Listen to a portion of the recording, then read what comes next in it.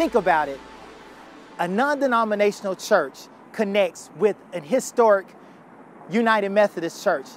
That is nothing but a God thing.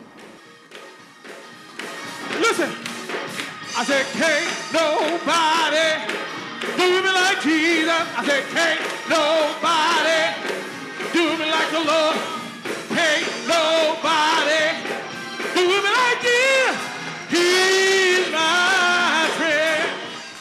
Now that the merger has occurred, there is a lot of excitement in the church.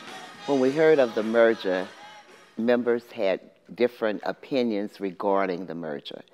Some didn't think that it was a good idea. Some, they didn't understand how this could take place in a United Methodist Church. For me, this merger has been a godsend. It has given me a new insight on where our church can go and that we can continue to be a vital part of this community and the community around. As one of the founding members of Union Cathedral, uh, we had met at four different locations uh, on all different sides of downtown Dallas. Union Cathedral was a moving entity, and now that we have the sanctuary, this is something that we don't have to worry much more about.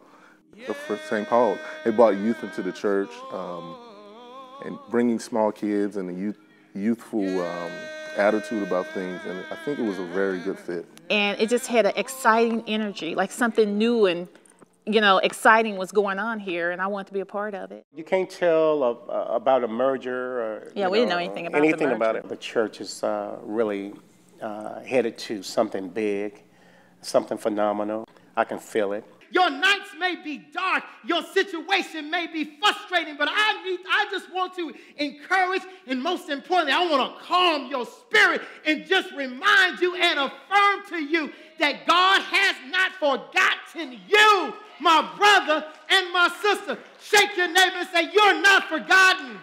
When St. Paul and Union Cathedral came together, what St. Paul had, Union needed, and what Union had, St. Paul needed.